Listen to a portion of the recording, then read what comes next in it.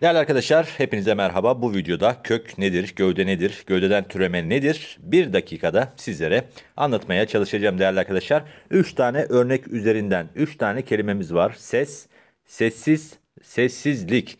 Öncelikle bir kelime yapım eki almadıysa bu şekilde ses kök halindedir değerli arkadaşlar. En az bir tane yapım eki aldıysa bakın ses sessiz, sızsız yapım ekini görüyoruz. Artık gövde durumuna gelmiştir değerli arkadaşlar. Yapı ayrı bir şey. Bakın yapı olarak bu bir türemiş kelimedir ama gövde halindedir. Peki birden fazla yapım eki aldıysa ses burada kökümüz. Sessiz bir yapım eki, sessizlik iki yapım eki. 3 de olabilirdi, 4 de olabilirdi. Biliyorsunuz Türkçe çok zengin bir dil. Ama en az 2 tane yapım eki aldıysa bu da nedir arkadaşlar?